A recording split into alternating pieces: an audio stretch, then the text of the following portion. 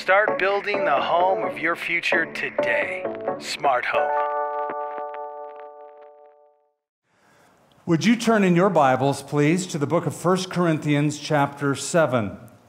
We're in a series, as you know, called The Smart Home, and we've covered a lot of ground. We've talked about being single, talked about dating, talked about uh, newlyweds, the physical relationship in marriage, conflict resolution, um, a number of topics, including divorce last time, and today, remarriage.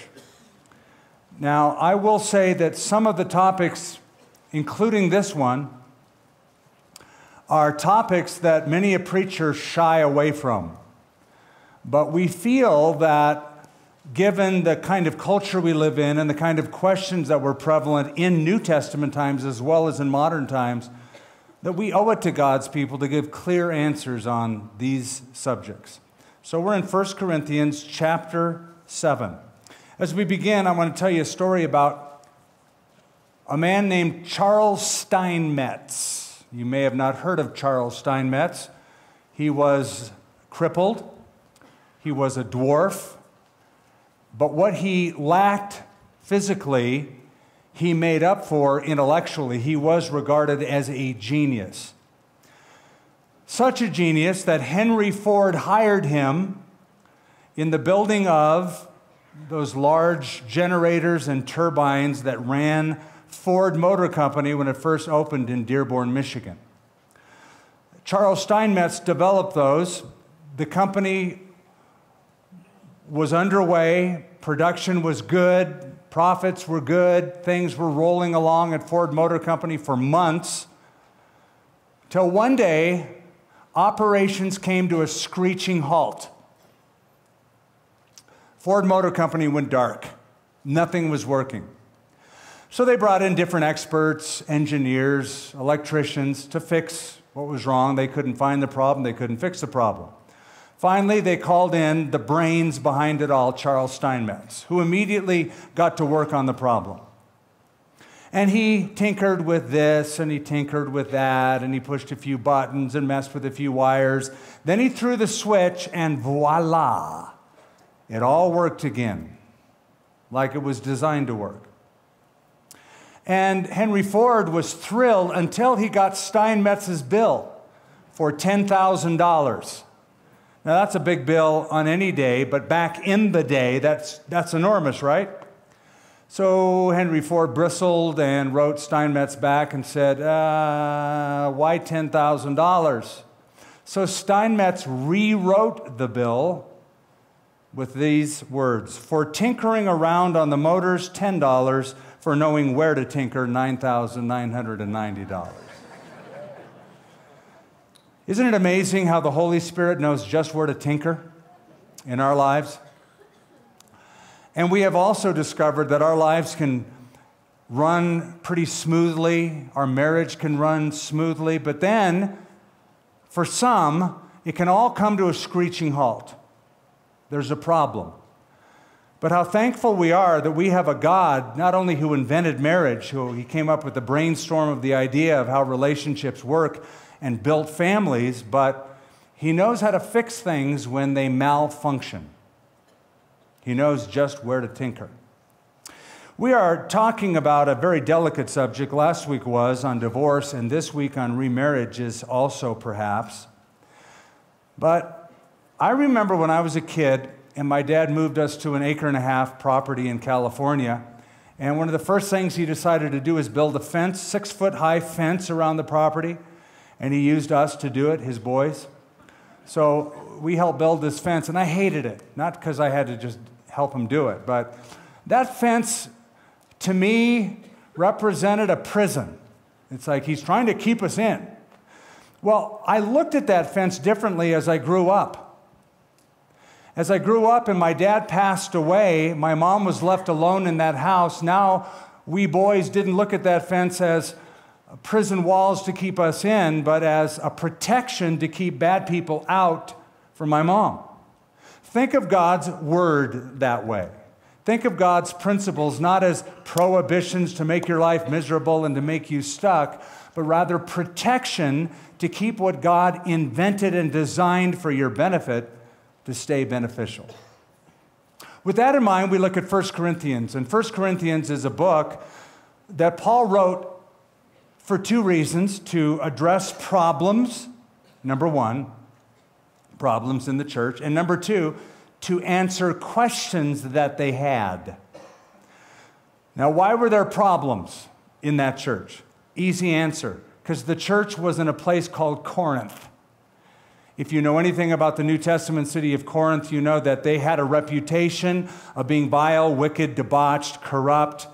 There was even a word that was coined in the Greek language, and the word was Corinthiadzesthai. It's a hard, long word, but it was a word that in Greek meant to live like or to play the Corinthian, to live like a Corinthian.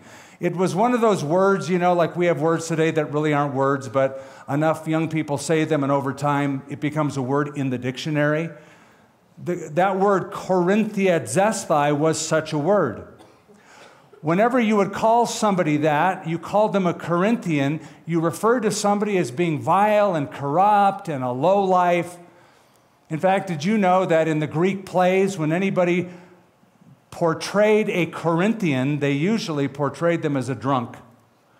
So they had that reputation. Well, men and women were getting saved in the city of Corinth. To live a Christian life in such a city was a hard balancing act. And so they had questions. They had questions about being single, they had questions about being married, about divorcing, and about remarriage. And Paul answers them Look at 1 Corinthians chapter 7 verse 1. Now concerning the things of which you wrote to me. So they had pelted him with questions and he writes back to answer some of those questions that they had. Now, just another insight. An early historian by the name of Tertullian said that pagan husbands were getting angry with their newly converted Christian wives. So there's tension, he writes about. And these Christian wives want to embrace other Christian people, bring them into the home, go visit the establishments of the poor and help them out. And it just created tension. Now, as we begin looking at this uh, topic in this chapter, I want to bring something out on the table and then dismiss it. Some people believe it or not, over time in the in past, even to this day, actually believe that a Christian who has been divorced under no circumstances should ever be remarried. I just want to say that's flat wrong. And there are reasons that they can be remarried, which we want to look at, but let me just bring you down to verse 27, where Paul says, summing up some of his thoughts, Are you bound to a wife? That is, are you married in the bonds of matrimony? Do not seek to be loose. Don't try to get out of it. If you are loosed, are you loosed from a wife? Don't seek a wife. But, now watch this, even if you do marry, who's he writing to? People who are loose from their wives or husbands, they're divorced. If you do marry, you have not sinned. And if a virgin marries, she has not sinned. So he basically says it's okay to do so. In fact, by the time he writes 1 Timothy, he commands young women, young widows, to remarry. So obviously it's not wrong because Paul tells them to do it. I want to give you a guideline and then, or, or a principle and then four guidelines. Here's the principle all those properly divorced can get remarried. Again, all those properly divorced can get remarried. That's the New Testament principle. A proper divorce, or you might say under biblical grounds, a divorce, would also, with it, bring a permission for a biblical remarriage. So all those properly divorced may remarry. Now I'm going to give you four guidelines. Um, when a divorce occurs for the following reasons, a remarriage is legitimate. Let's begin reading, first of all, before I give you those four. We're going to begin in verse 8. But I say to the unmarried and to the widows, it is good for them if they remain even as I am. But if they cannot exercise self control, let them marry. For it is better to marry than to burn with passion. Now, to the married I command, yet not I, but the Lord, a wife is not to depart from her husband. But even if she does depart, let her remain unmarried or be reconciled to her husband. And a husband is not to divorce his wife. But to the rest, I, not the Lord, say, if any brother has a wife who does not believe and she is willing to live with him, let him not divorce her. And a woman who has a husband who does not believe, if he is willing to live with her, let her not divorce him. For the unbelieving husband is sanctified by the wife, and the unbelieving wife is sanctified by the husband. Otherwise, your children would be unclean, but now they are holy. But if the unbeliever departs, let him depart. A brother or sister is not under bondage in such cases, but God has called us to peace. For how do you know, O wife, whether you will save your husband, or how do you know, O husband, whether you will save your wife? Now I'm going to bring you back to where we started in verse 8. And notice what he says. He speaks to two groups, first of all, here. Now, he speaks to a lot of groups in this chapter. I'm giving you two in this verse.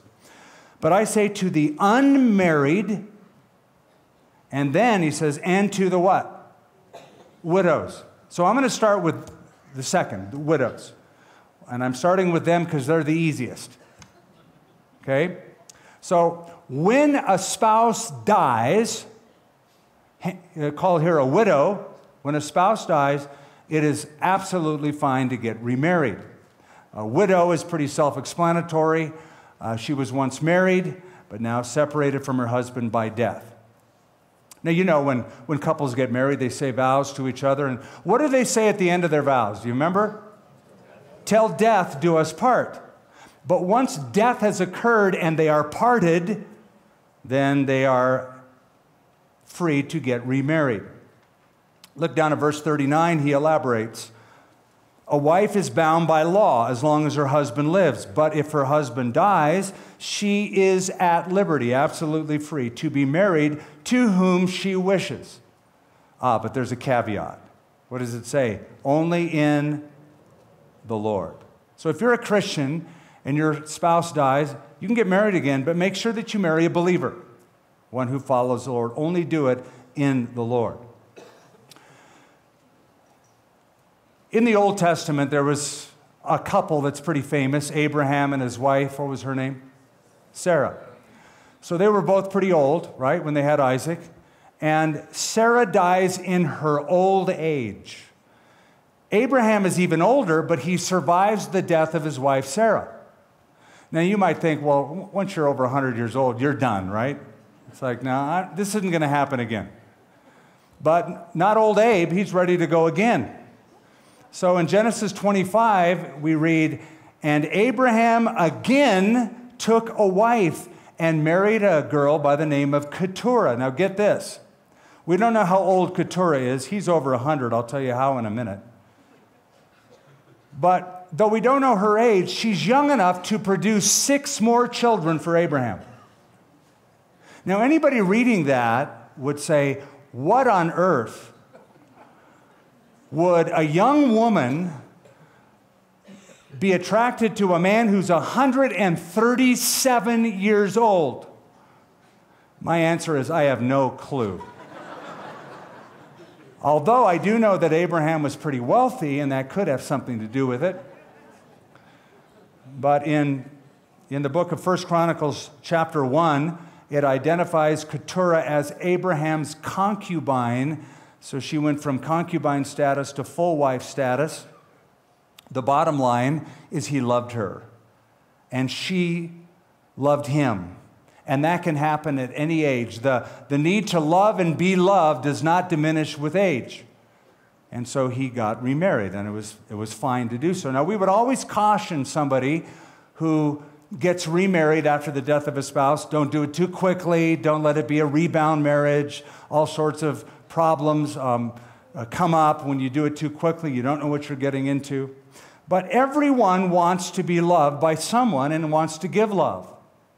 And especially those who are believers, they long to have another believer that they can share that grace of life with. I got a letter some time ago from a Christian woman who said, Tomorrow I will be married for six years, but it's not a happy occasion because I'm going through a divorce. I met my husband in a Bible study. We would study the scriptures together, pray together, go to Christian activities, but then we got married and things changed. If this divorce goes through, I probably will not marry again for the kids' sake and also to follow the Lord's way. But I'll be honest, deep down in my heart, I wish I could find a good man who loved the Lord and lived as the Lord commands. I really yearn for companionship, even if it's just friendship. And then she concludes I've been married three times and had to support them all. But certainly Sarah's death made it legit for Abraham to get remarried, and he does. He marries Keturah. Paul brings this up. Two widows, he calls them. So when a spouse dies, number one. Number two, when a divorce occurs prior to salvation. Now, I mentioned that Paul is writing to different groups who have asked different questions. But look at a word in verse 8. He says, But I say to the unmarried and to the widow. So, two different groups. Now, look at the word unmarried. Unmarried is also pretty self explanatory. Anybody who's not married is unmarried. It could mean somebody who's single, never been married. But get this the word is agamos in the Greek language, and agamos uh, literally means without a marriage. Without a marriage. It is a word that is mentioned only four times in the entire New Testament, and all four times are in this chapter. So, this chapter provides the contextual meaning for that word, agamos. Yes, it could mean somebody who's never been married, but notice something in verse 10, and I think it's specific to that. He says, To the married I command, yet not I the Lord. A wife is not to depart or divorce her husband. But if she does depart, chorizo, cut it off by a divorce, let her remain what? Unmarried. There's the word, agamos. Remain unmarried. And it's used that way a few times in this chapter. So it seems to refer to those who were previously married who are now divorced. He's not speaking of widows, that was one group he talked about. I don't necessarily think that he's speaking about uh, somebody very young who has never been married, though they would be included, but for this reason. He uses the word virgin a lot in this chapter. He uses it like six times, and he specifically re- uses the word to refer to somebody who is young and unmarried. But when he says unmarried, it seems that the context is married and divorced before they came to Christ, and they're wondering, gee, could I ever remarry? And Paul answers them, yes. When marriage and divorce happens prior to salvation, you can remarry. Why? Because until we know God, we don't know God's will or God's plan for our lives. And whatever is in your past, when you come to Christ, you are new. Is that right? 2 Corinthians 5:17 Therefore if anyone is in Christ he is a new creation. Old things have passed away. Behold all things have become new. He uses the word new twice. Kainos is the word.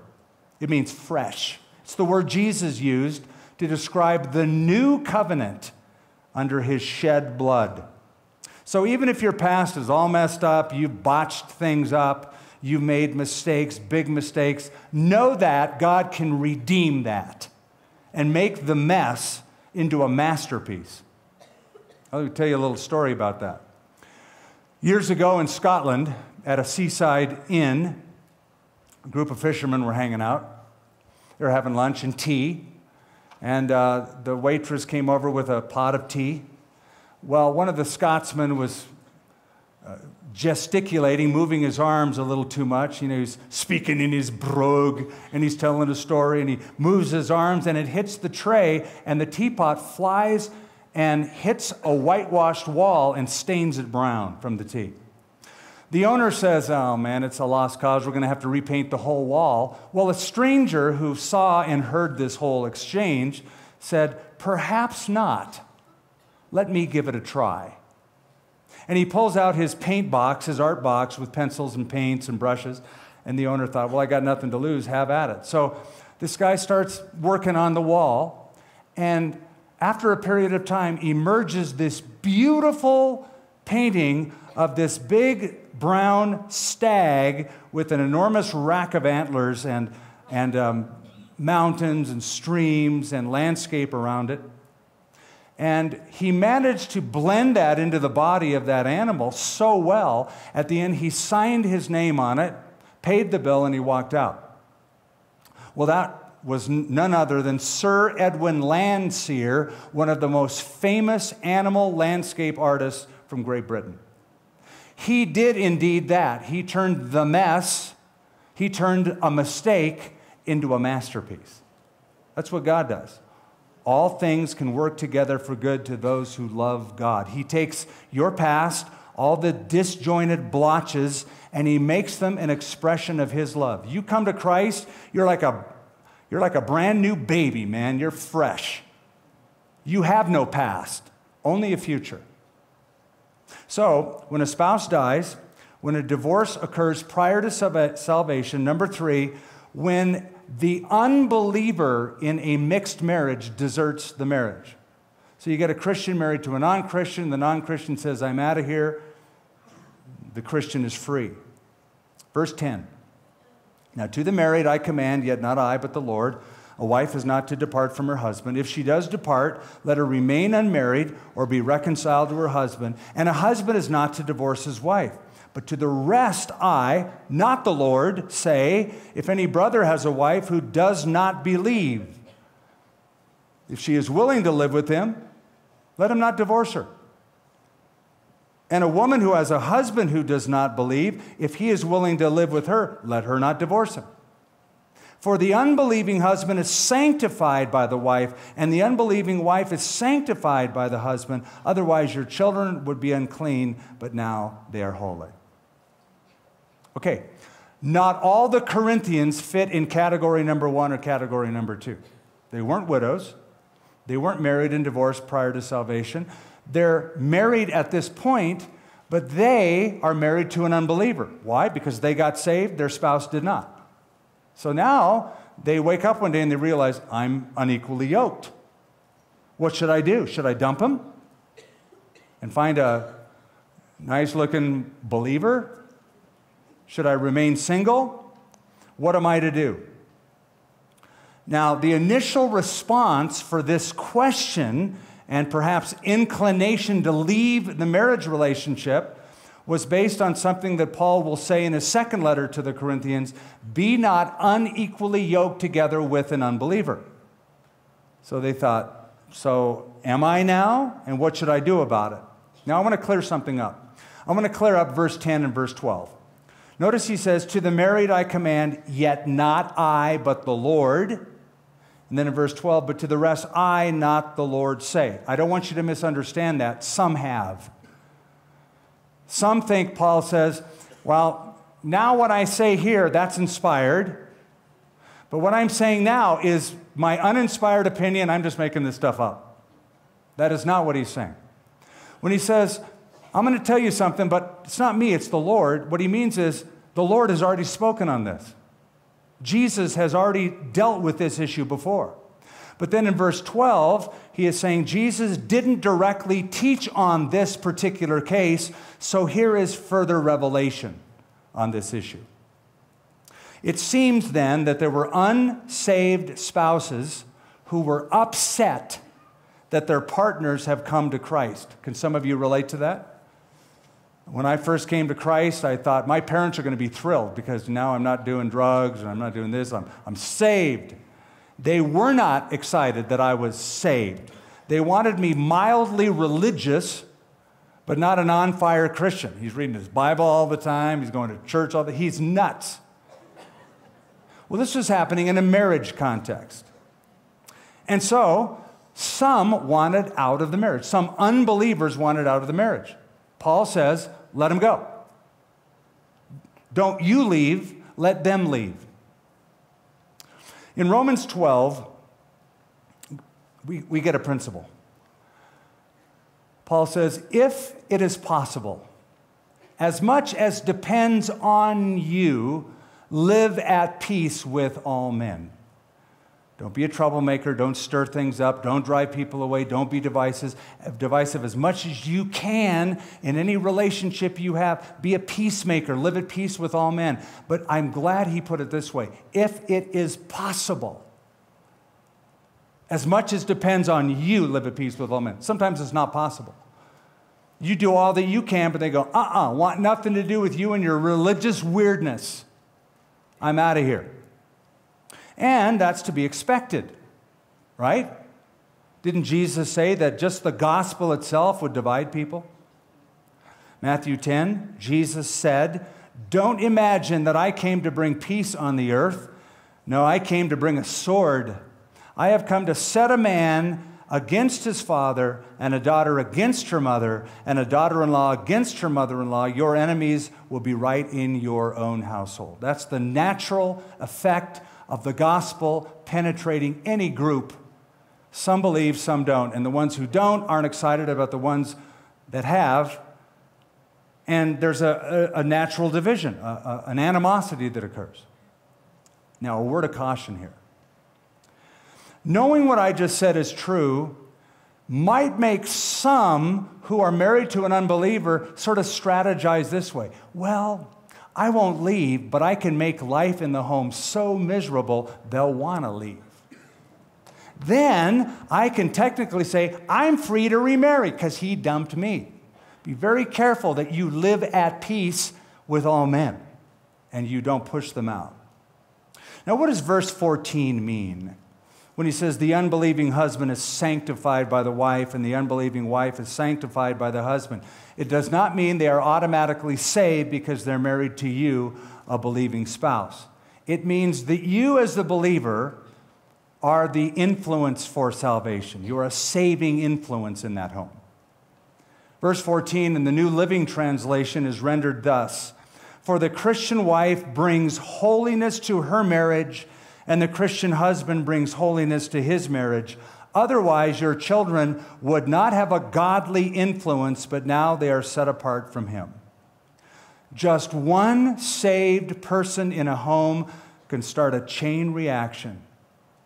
The gospel has now penetrated that household, and others come to Christ. I found that to be true on a lot of occasions. I love it when I'm in, standing in the baptismal pool in warmer weather. And um, a family will come in and they'll all want to be baptized together. So I said, So tell me your story. You're, a whole family, you want to get baptized together. Did you all come to Christ at one time? Here's usually the story. Oh, no. She received Jesus Christ. I thought she was a wingnut. I wanted nothing to do with her or her God or her religion or her weirdness, but the Lord softened my heart. I gave my heart to Christ. Uh, our marriage got better. My children saw that. They gave their lives to Christ, and now we're a, a family wanting to be baptized and declare that together. That, that's a frequent testimony that I see and I have over the years. Now, let me give you this principle from the Old Testament. It's the same principle, but it's seen a little different. You will recall that God and Abraham had a very interesting conversation about Sodom Remember when God says, You know, Abraham, I'm going to go check out Sodom and I think I'm just going to destroy it? And Abraham goes, oh, Destroy it? Well, what if, what if there's 50 righteous people in that town? God says, I'll spare the town if there's 50 righteous people. Produce the 50. Well, he couldn't. There weren't 50 righteous people in Sodom. Abraham knew it, so he, uh, in classic fashion, goes, uh, Would you do it for 40? God says, Sure. I'll work the deal. 40. You've given me 40 righteous people. Good to go.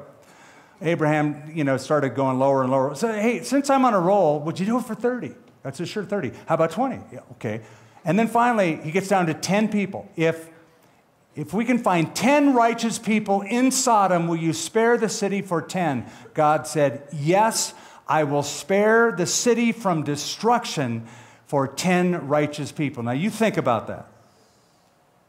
If 10 righteous people could have been produced, thousands of wicked people's lives would be spared by the sanctifying influence of just 10 people. That's the same principle here.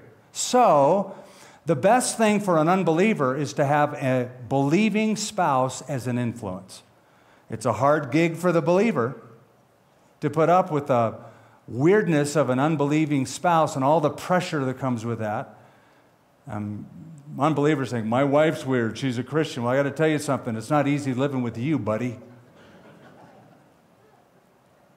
But she would say it's worth it if the pressure, the pain, uh, the months of being put off and marginalized and hurt and slandered, if, if, if the gospel penetrates your heart.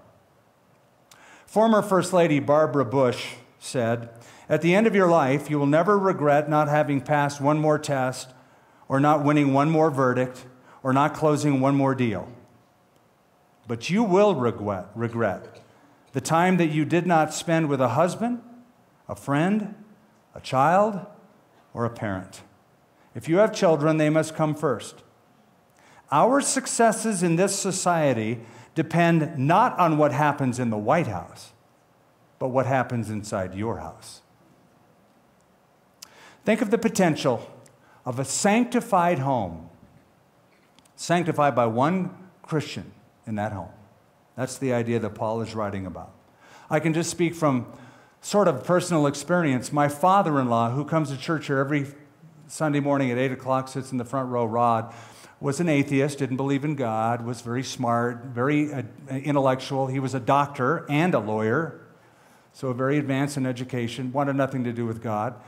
Um, short story, he has a radical conversion, gives his life to Christ. His family thinks he's, his much learning has made him mad.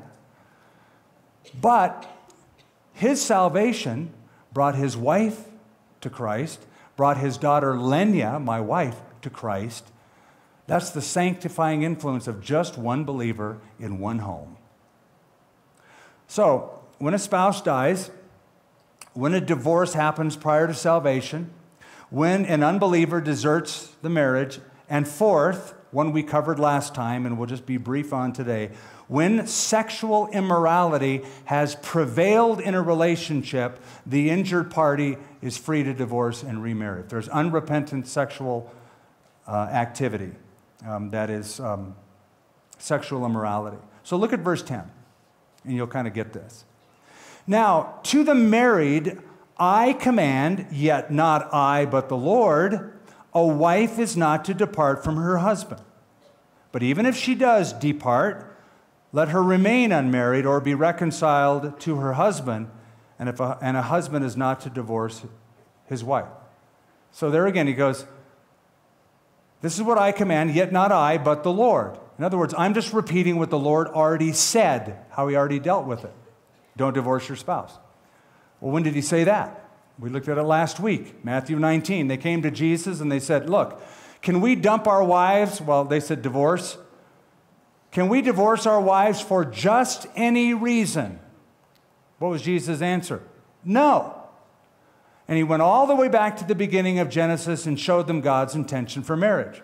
He said, The only reason you can is if there is sexual immorality in your relationship with your wife that you're married to. Unrepentant sexual immorality, that's the exception clause that makes divorce and then remarriage permissible. Now, I told you that they came with that question because there was a rabbi named Rabbi Hillel who widened out uh, getting a divorce from your wife for any reason, so that there was rampant no fault divorce in the first century. Right? We said that. And that's why it's so applicable to our generation because in the United States of America, every single state in the Union except South Dakota has no fault divorce laws. And that means you don't have to have anybody's fault to get a divorce. You just say, look, I don't like her anymore, don't like him anymore. Uh, we have irreconcilable differences, let's just part. So, today, like in that day, you have people saying, I'm going to divorce my husband or wife for any reason. And you may be surprised some of the reasons people come up with. Maybe not. I have surprised. Uh, one man in Hazard, Kentucky, divorced his wife because she, he said, beat him whenever he removed onions from his hamburger without asking for permission. Now, I don't quite understand that. Uh, she's a little legalistic with her hamburgers, but it happened. A deaf man in Bennettsville, South Carolina, filed to divorce his wife because his wife was always nagging him in sign language. Easy fix, go to the next room. A woman in Cannon City, Colorado, divorced her husband because he forced her to duck under the dashboard whenever they drove past his girlfriend's house. now, that's pretty low. A woman in Hardwick, Georgia, divorced her husband on the grounds that he stayed home too much and was much too affectionate. Now, come on. Women want affection and would love their husbands to stay home a little more. She divorced her husband because of it. Don't quite understand it. So Paul writes, and he goes, Look, I'm saying this. Are you married? Stay married. Work it out, work out the problems, and in so doing, provide the world an example showing them that God's standard for relationships work. Let that be your testimony. Show the world that God's plan works. The only exception that Jesus spoke about, and that's what he said, look, Jesus said, stay together. The only exception was for sexual immorality. Now, let's say a couple says, so what? I don't care. It says sexual immorality. I'm going to divorce my husband or my wife. Well, Paul writes that. He says, even verse 12, if she does depart, let her remain unmarried or be reconciled to her husband, and a husband is not to divorce his wife. Okay, so things didn't work out. It wasn't sexual immorality, but you dumped him or dumped her. Now what? Two options. He said stay unmarried, or at some point when the smoke clears, reconcile with your husband or your wife. So, those are the options. And let me say of those two options, God's heart, God's highest, is reconciliation. It's reconciliation. Even when sin prevails, I believe God's highest heart is reconciliation over remarriage. So you say, well, it's easy for you to say. Ask that to Hosea.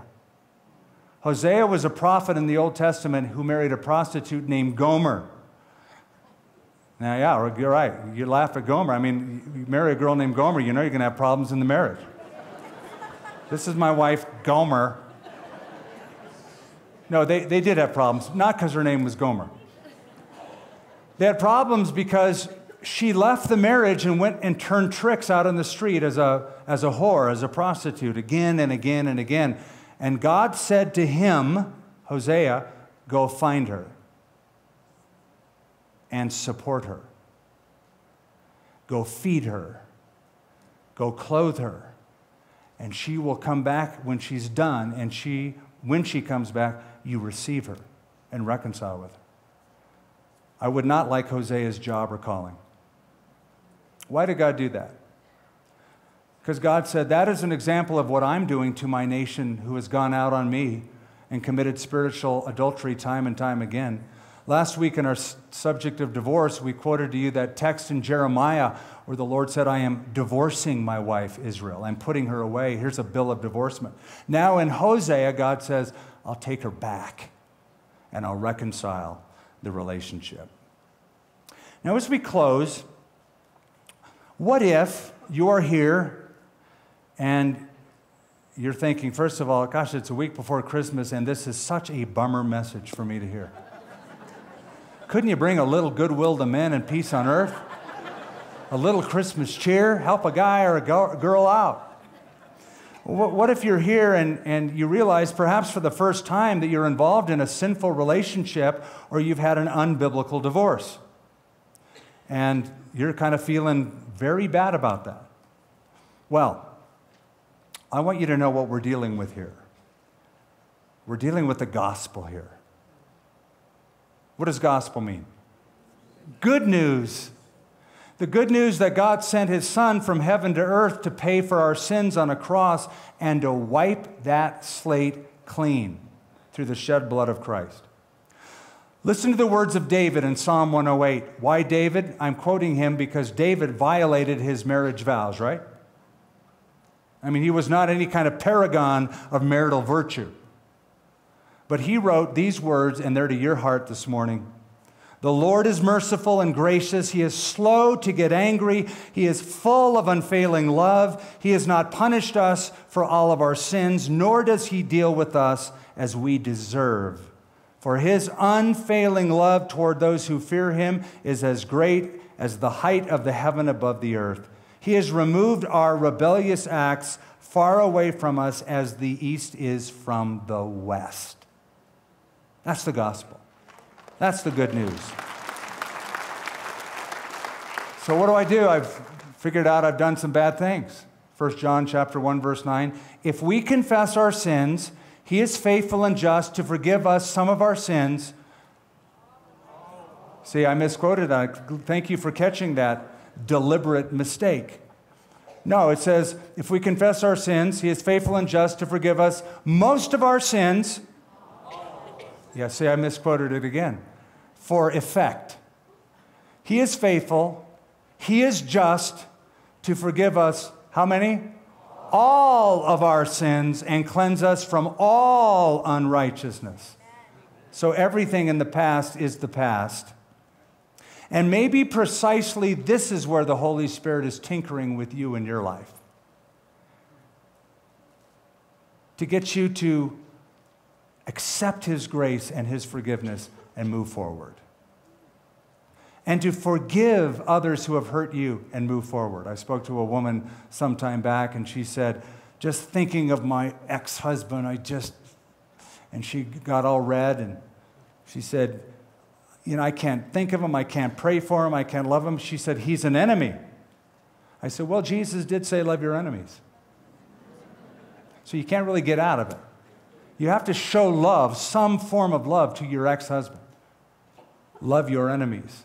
Do good to those who spitefully use you and persecute you. Do that.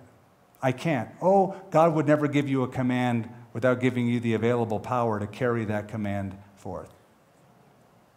Step out and decide, as married couples, we're going to work this out. Decide that we're going to honor God. Decide that from this day forward, we're going to follow His commands. You can do it, He'll enable you to do it. Father, as we conclude, we just thank you for the gospel. We thank you for what it means. All of us have sinned and fallen short of the glory of God. Even Paul said that Christ Jesus came into the world to save sinners, of whom he was the chief. So, how thankful we are that you are faithful and you are just to forgive all of our sins, cleanse us from all of our unrighteousness do that work of grace in our hearts as we have failed, some of us relationally. We have made poor choices, we have made hard choices, we have made impulsive choices. Lord, some of us have um, long marriages, others do not. But by grace, we are all your forgiven children, and you are our Heavenly Father. And so I pray that you would uh, enable us all to love each other as well as be forgiven and loved by you in Jesus' name. Amen. We hope you enjoyed this message from Skip Heitzig of Calvary Church. How will you put the truths that you learned into action in your life? Let us know. Email us at mystory at calvarynm.church. And just a reminder, you can support this ministry with a financial gift at calvarynm.church/give. Thank you for joining us for this teaching from Calvary Church.